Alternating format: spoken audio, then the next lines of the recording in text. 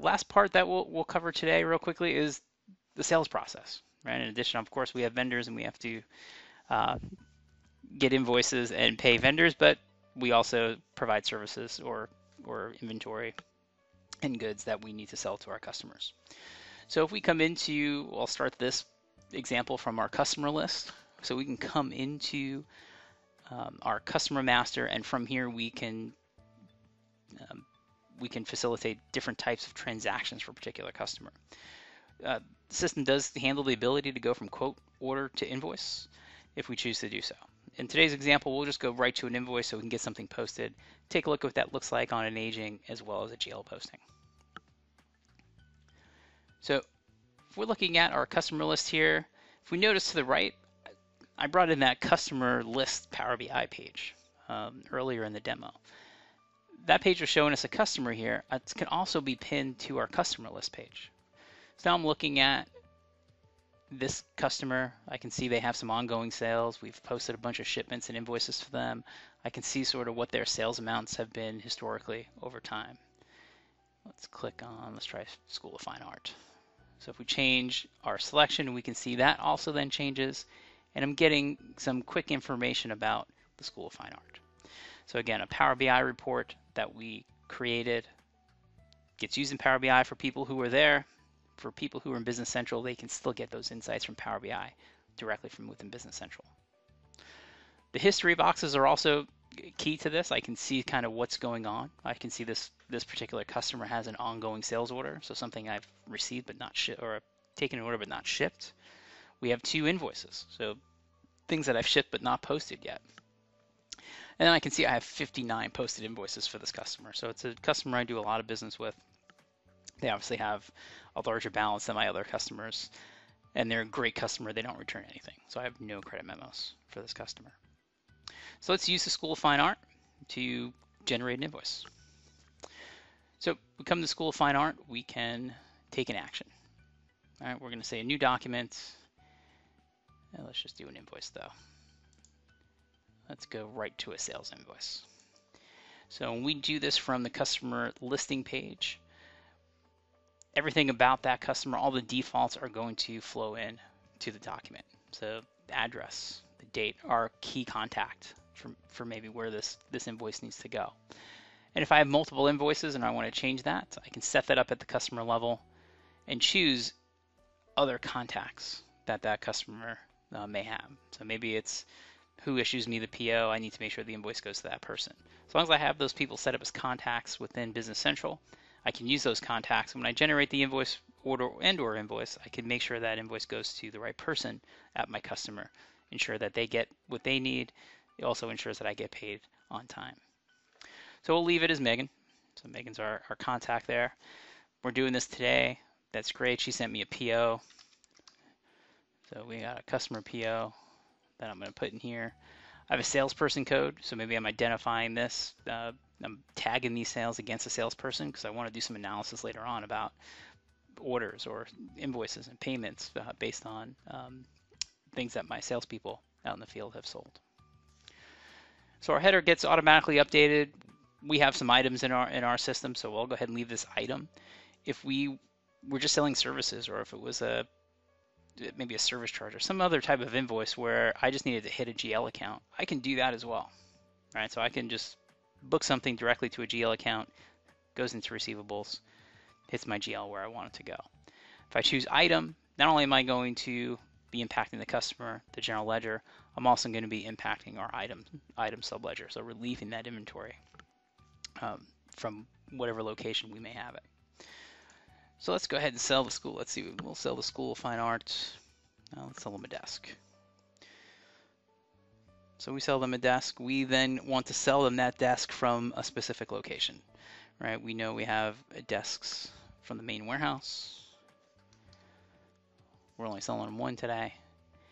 We have some other dimensions that we might want to capture here, right? So maybe we want to capture market code. Maybe they're in Orange County.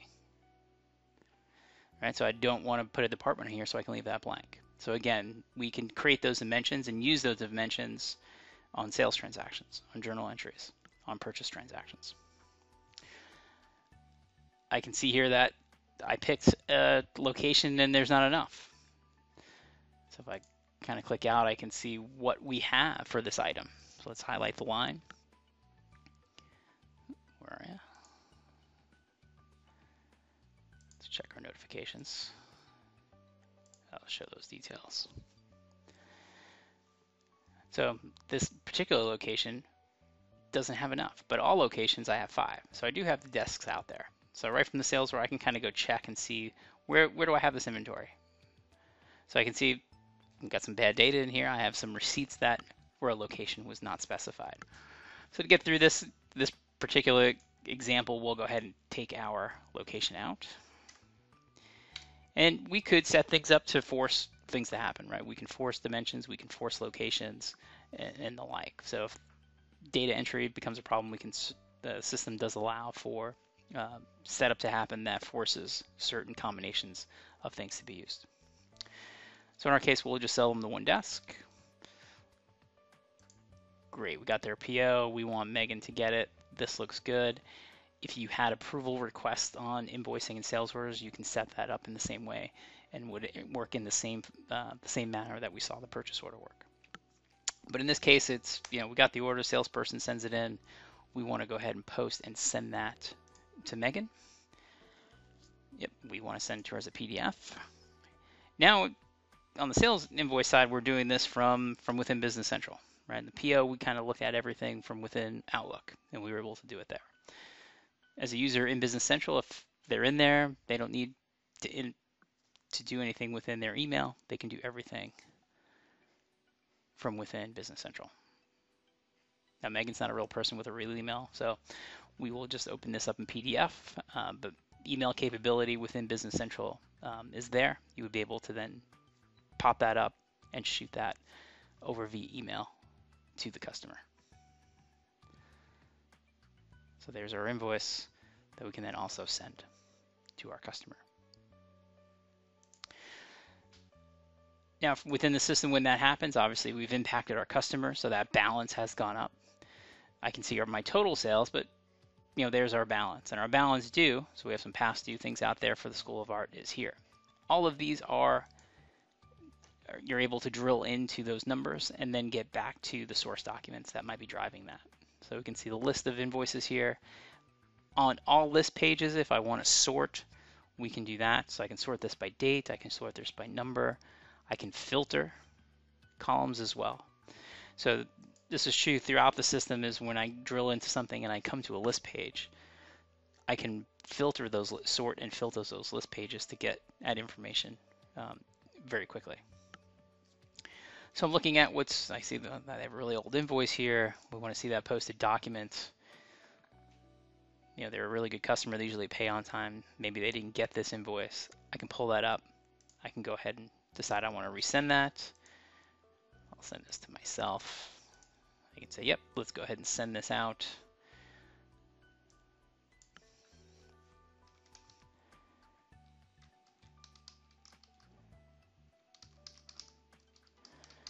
Change that so that goes out.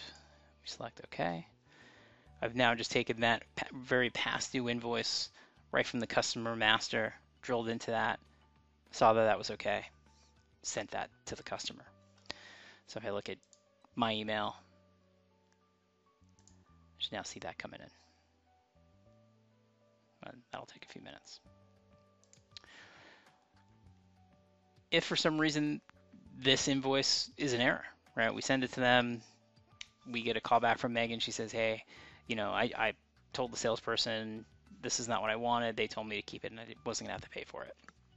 We verify that. Right from the posted invoice, we can go ahead and cancel, which will automatically create a credit memo. Or if there was something we wanted to correct, maybe the price was going to change, we can correct that from here as well. So very easy from within documents to make those corrections. If it does need to be returned or just simply credited, right from within the invoice, we can cancel that. It will automatically create the credit memo, reverse the entries, and apply that credit to the invoice. Right, so all in one step, really taking care of something like a mistake, or even if we wanted to correct that, we can do that right from here.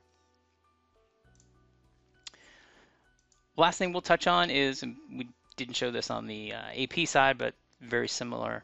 Um, a similar process for this is that, of course, we can run agings, see who owes us what and how old things are, and those reports are available in Excel.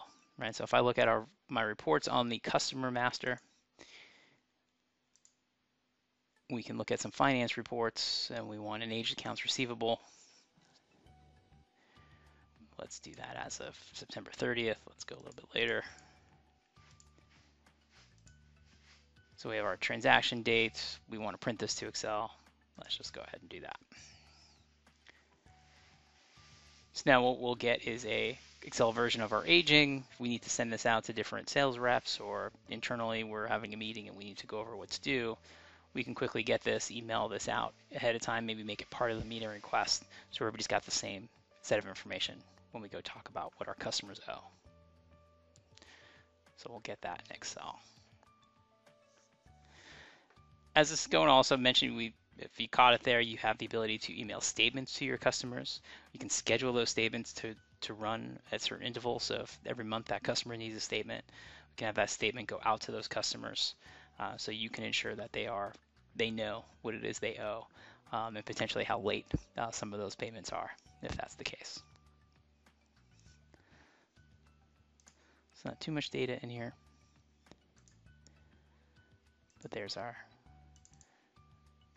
our customer master. So we got some credit limit information in here. We can see the balance due and sort of how that flows out uh, as it relates to how old uh, those customers are. You get this in detail as well. So if we ran a detailed trial balance, you would get this broken down in the same format, except this would be broken down with all of the invoices here.